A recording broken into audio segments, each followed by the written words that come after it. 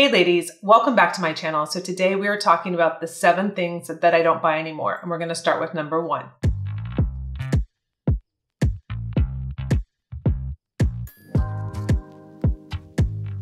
The first thing I stopped buying was uncomfortable clothes. And for me, it's all it's almost like I don't know if this is going to happen because my closet is consignment. I buy everything secondhand. I'm always online, just basically curating my closet. So I found myself ending up with things that just didn't fit very well, but I'm like, well, you know, I bought them. I should probably try to wear them. And I just didn't love the feeling. Like I can't show up my best self feeling uncomfortable or, oh my gosh, if I move my arms a certain way, I might rip this like silk little top.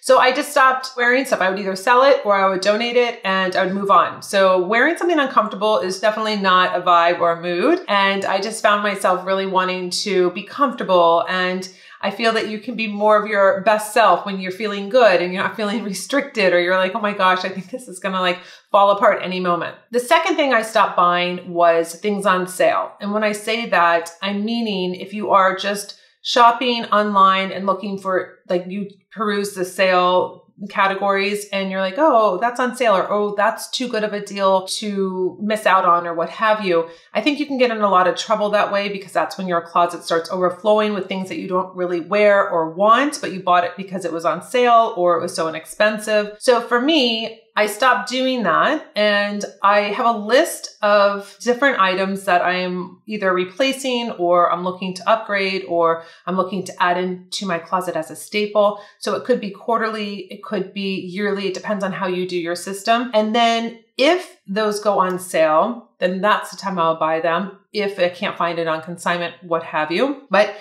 just perusing sales, I think is a really, it's a slippery slope because you are just buying it because it's on sale, not because you really need it or want it. So I kind of switched that around to here's the list. Here's basically the outline. If I can find those on sale, I am very patient. I do wait and, you know, if it pops up, great, but I just don't just sit there on sale websites and what have you because I find that to be really detrimental. The third thing I don't buy anymore is one hit wonders when it comes to clothing. And that means that something you're going to wear one time. It's so recognizable that you wouldn't want to wear it again. I have one top and pant that goes together from Carolina Herrera. It was actually from Wes Gordon's first collection, I believe, from 2020 spring that he designed for her. And I actually had two pieces. I had uh, I had a dress that when I put it on Instagram, people were like, "You look like a bumblebee." I'm like, "That's fine. It is very dramatic and a little theatrical, but it was a off the shoulder little dress."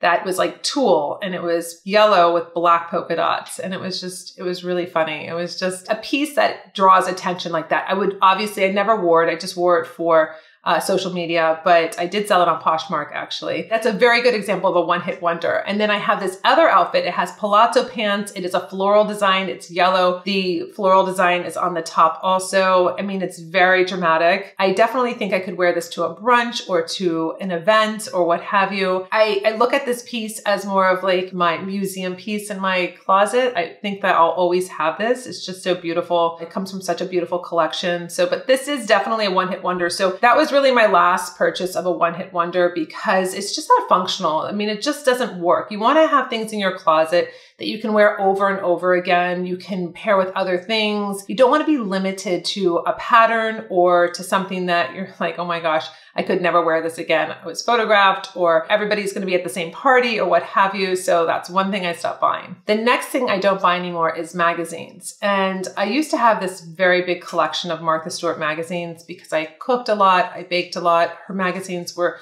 so inspirational. I mean, speaking of Martha Stewart, I used to record her um, segments on TV with a VHS tape. I mean, like I had all these VHS tapes, like all these stacks. I would date them. I mean, I just loved them. So her magazines had this four course dinner in them and you could pull it out. And so of course I pulled them out and I would put them into another binder. I mean, I really got into this. So not only do I have the magazines, I have like her stuff in these like these three ring binders like all over the place. And one time when I was moving, my husband and I were moving into our next apartment together he was like, Oh, what are you doing with all these magazines? I said, Oh, I love these. These are my Martha Stewart magazines. I mean, I can't, I mean, these are, I mean, literally like from the years and the dates that were all like organized. He's like, Have you been moving around? Have you been paying movers to move your Martha Stewart magazines? I said, yes. Why, why wouldn't I? He's like, that's crazy. You got to get rid of these. I'm like, oh, I would never get rid of these magazines. He's like, you can't do this. I'm like, oh, I can sell them on eBay. And then I looked it up on eBay.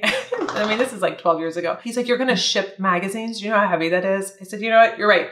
So I picked out whatever I wanted from the magazine and then I got rid of all of them. And I have to tell you, it's like less clutter. You don't realize how magazines just start building up and then you're like, oh my gosh, then you feel guilty because you're not reading them or you want to set aside time and you want to go through them. I mean, that never happens. It just never happens. So now I have everything on digital. I have the Apple News app and I pay $9.99 a month. I can have every magazine in the entire world. Literally, I have Town and Country. I have Allure, I have InStyle, I have Entrepreneur. I mean, you name it across all different categories. So it's just really wonderful. I don't have all the clutter around me anymore. I have it on my app and I can read them. They don't ever go away. So it's wonderful. The next thing I don't buy anymore, speaking of magazines, is books. And there's a little caveat to that though. If it's summertime and I'm going to be at the beach and what have you, I will buy a book because I want to be able to leaf through it. I don't like electronics on the beach. I can't see, number one, like the sun's always hitting the screen wrong. I really don't love being on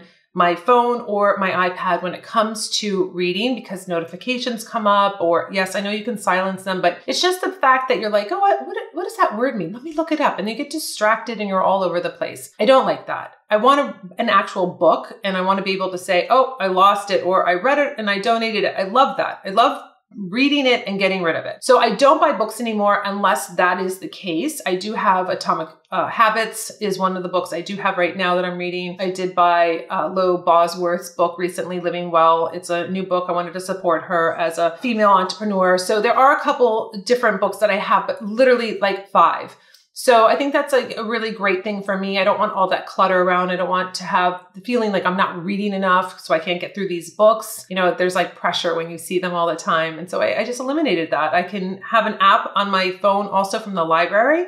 I recently mentioned that, that I have a free library app and I can check out, I think it's like 10 or 12 books for the month and for 21 days. And then I borrow it and it downloads and then it just goes away. So it's wonderful. It's a really great way to free up your physical space and your mental space. The next thing I don't buy anymore is outside of my color palette. So that goes for nails, that goes for clothes, and that goes for my makeup. Now I do push it a lot of the time with yellows and you know a lot of people are like you can't wear yellow, you can't wear this, you can't wear that because you have silver hair and I'm like, I don't really follow those rules. So for me, I just really stay within the color palette that works for me. And I really learned what works for me as now this is the seventh seventh year I've been gray. I've done trial and error. I do push it with yellow. I love it. I love the yellow. I love how bright and happy it is. So I do wear that. I love pairing it with blue, but my color palette's really black and white and beautiful blue or that coral, or I just know what really works. I know what doesn't work. Um, I was recently on a photo shoot and when they pulled out the outfit I was going to wear, I thought, oh my gosh,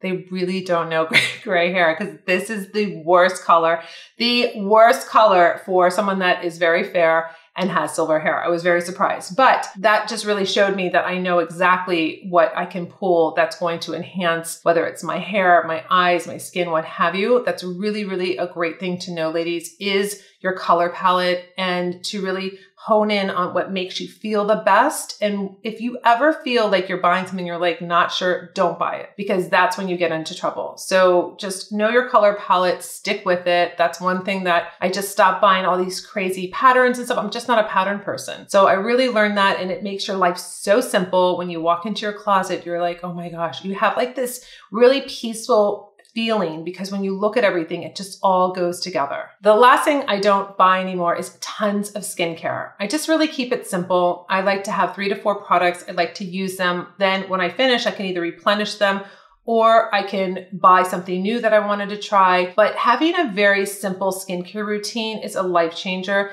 If you go into your bathroom for the morning routine or the evening routine and you have 20 different products, it's overwhelming and your skin is overwhelmed too. So if you pare it back, and you really think about what do I want to concentrate on? What are my skin goals? And start off very small and figure out, okay, here's my little collection, and this is what I'm going to use for at least six weeks or use until it's finished. I think a lot of women get very impatient because they don't give the products enough time to work. And then they're like, oh, I'm going to throw in retinol. I'm going to throw in this. I'm going to do that. I'm going to do some micro home microdermabrasion. And then your skin becomes very overwhelmed, very reactive. I have just found that it's much more of a peaceful, enjoyable ritual at night or in the morning by doing just a simple routine and not getting overwhelmed and not trying to feel like more is better, more product, more stuff. Just really direct it to what your issues are and what you want to work on and then take it from there. But that's something that I stopped buying a while ago of just having too much.